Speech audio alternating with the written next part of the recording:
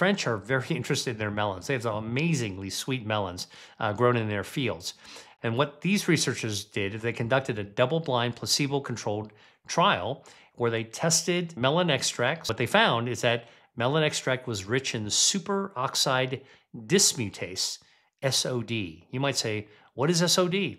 Well, look, SOD is like a fire extinguisher that when you have it in your body, that you can get from eating melons, it'll actually put out the fire from oxidative stress that can damage cells. So think about, you know, chemicals, uh, chemical exposures, ultra processed foods, um, environmental exposure that cause a lot of extra uh, oxidative stress. These like sparklers going off in your body, damaging cells.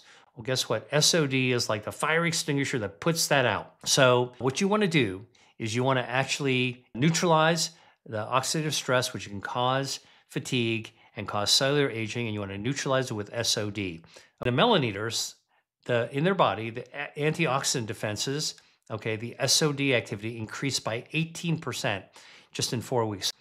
And in fact, the, having the melon extract made the oxidative stress go down, which is just what you would expect. And the damage to the proteins in the body also went down by 10%. This is an extract from melons, like a cantaloupe like melon.